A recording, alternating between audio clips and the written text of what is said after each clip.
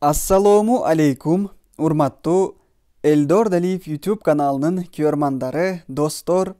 Мугалимдер устаттар окуучулар жана билимге кызыккан бардык жарандар.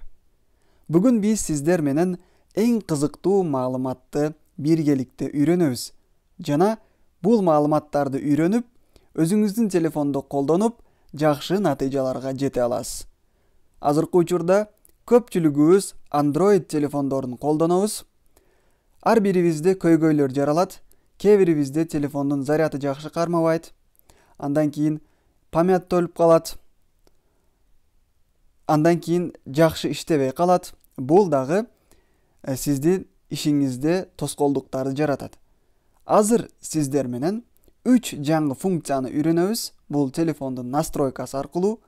Бул функцияларды аткарсаңыз албетте сиздин телефонуңуздун заряды көп убакытка жетет жакшы иштейт жана көп жыл сизге кызмат кылат биз азыр колдонгон телефон бул редми телефону башка телефондордо дагы настройкасы ушундай бирдей болот аз гана издеп аткарсаңыз болот эгер даяр болсоңуз биз баштайбыз албетте настройка бөлүмүнө киребиз настройка бөлүмүнө кирип бул жерде жакшы көңүл буруңуз биринчи биз аткаруучу ишибиз бул кээ бир телефондордо безопасность деп чыгат кээ бирлеринде пароль и безопасность ушул жерден пароль безопасность дегенди тандап астында местоположение дегени бар. Местоположенияны мына өчүрүп коебуз көрдүңүзбү мына? Өчүк турат биздики азыр.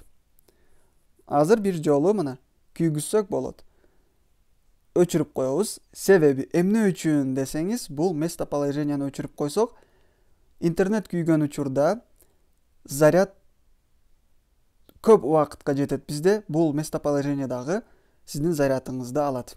Ошол нерсеге жакшы көңүл буруңуз андан кийин доступ к местоположению бул сиздин азыркы учурда кайсыл жерде турганыңызды дагы аныктап берет. Аны өчүрүп койсоңуз бул мисал катары эч ким биле албайт. Кайсыл жерде турганыңызды бул дагы сизге бир кошумча маалымат биринчи функцияны көрдүк ал эми экинчи функция бул экран деген бөлүм бар. Экран деген. Экран деген бөлүмгө басып ушул жерден яркость бөлүмүнө киребиз эми жакшы көңүл буруңуз бул жерде эмне кылабыз десеңиз автонастройка азыр бизде включен көрдүңүзбү күйүк турат муну биз өчүрүп коебуз өчүрүп коебуз автонастройканы өчүрүп койсоңуз сиздин телефонуңуздун заряды көп убакытка жетет эмне себептен десеңиз бул автонастройканы сиз өзүңүз экранды яркостун колуңуз менен настройкалайсыз эгерде муну күйгүзүп койсоңуз сиз бир кабинетке киргенде ал жарык же караңгы болсо телефон өзү автонастройка кылгандыгы үчүн көп зарядты алып коет. Албетте муну өчүрүп коюңуз. Өзүңүз колуңуз менен настройкалайсыз. Бул дагы зарядты көп убакытка кызмат кылуусуна жардам берет. Экинчи функцияны дагы көрдүк. Эми азыр сиздер менен үчүнчү функцияны көрүп чыгабыз. Бул дагы сиздерге өз пайдасын тийгизет.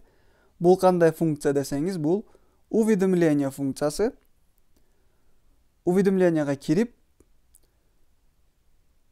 азыр бизге приложениялар ачылат мына. Көрдүңүзбү бул приложениялардын кайсы биринен келген кабарлар сизге анчалык зарыл болбосо аларды уведомленияны өчүрүп коюңуз мына.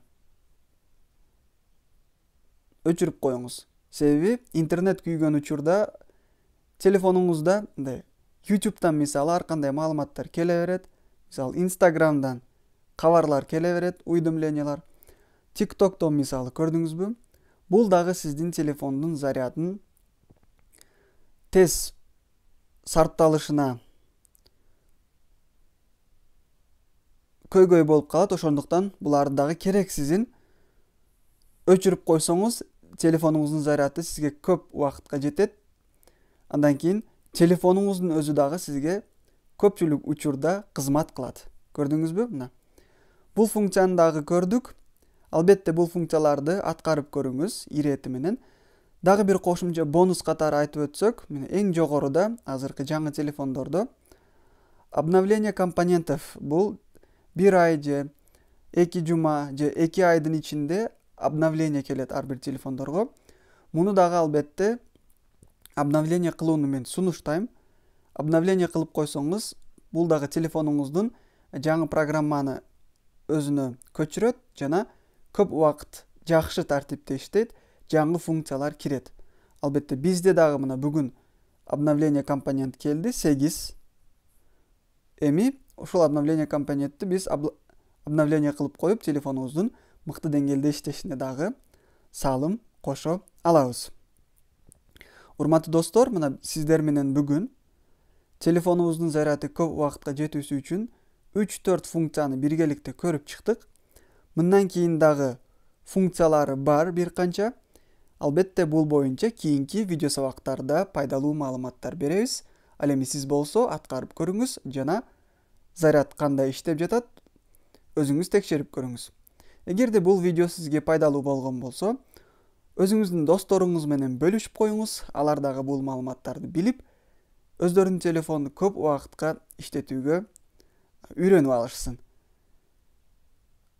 баарыңыздарга ийгилик видео жаккан болсо лайк басып коюңуз эгер жакпаган болсо дизлайк басыңыз жана комментарийге өзүңүздүн пикириңизди калтырыңыз кандай видео сабактарды күтөсүз комментарийге жазып койсоңуз болот баарыңыздарды терең урматтоо менен элдор далиев ийгилик каалайбыз баарыңыздарга